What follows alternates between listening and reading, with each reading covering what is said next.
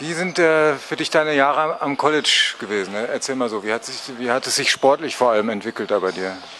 Äh, auf jeden Fall sehr viel. Ich, war, ich kam aus der ähm, zweiten Regionalliga und hatte noch einiges zu lernen und habe in den vier Jahren meiner Meinung nach auf jeden Fall mich sehr, sehr weit entwickelt und hoffe, das jetzt auf jeden Fall hier noch weiterhin umzusetzen.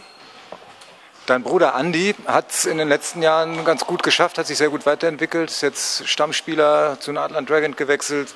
Ähm, ist er für dich so ein bisschen ein Vorbild?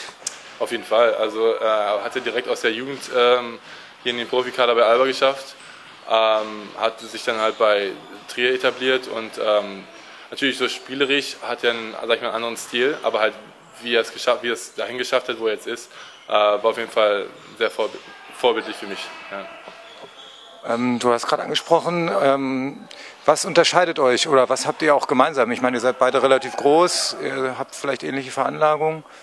Ja, äh, ja mein Bruder ist, glaube ich, auch mehr ähm, der Werfer und äh, Taktiker, sag ich mal. Ich habe dann dafür ein bisschen mehr äh, Athletik in meinem Spiel, würde ich sagen.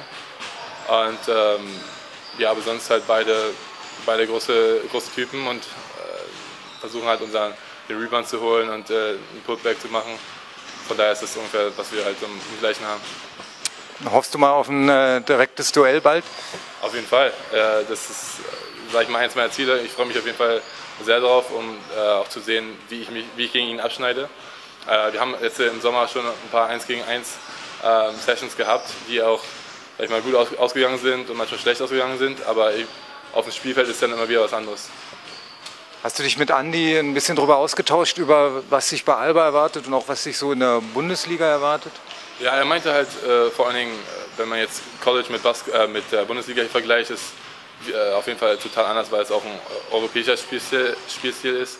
Und ähm, es wird auf jeden Fall nicht einfach. Es wird mir eine, äh, eine Weile dauern, bis ich mich äh, richtig eingelebt habe, sagt er.